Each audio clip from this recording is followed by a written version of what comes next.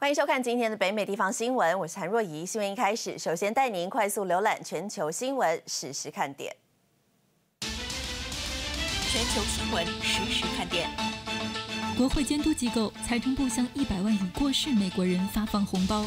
今年四月，美国因为新冠疫情发出了一人最多一千两百美金的纾困红包。国会监督机构发现，有一百万名过世的人也收到了，这些支票总额接近十四亿美元。洛杉矶动乱，一百五十辆警车受损，维修费近百万。洛市警局表示，目前爆发的游行抗议与骚乱暴动导致一百五十六辆警车损坏，八辆完全报废，维修和换新费用近一百万美元，这还不包括警车上的一些设备。最新人口普查，美非白人青少年首次占多数。美国人口普查局今天公布数据，去年16岁以下青年以非白人及拉美裔青年占多数，是历来首次。另外，美国非拉美裔的白人死亡人数超越出生人数。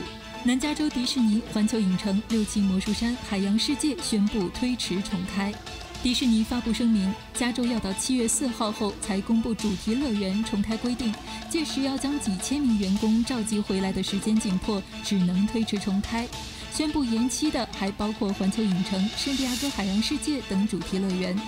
疫情肆虐也要赶工，卡达世足赛场馆上千工人确诊新冠。尽管新冠肺炎疫情严峻，卡达2020年世足赛场馆仍加紧赶工。卡达世足赛组委会证实，疫情爆发以来已有一千一百名场馆工人确诊。中天中望整理报道。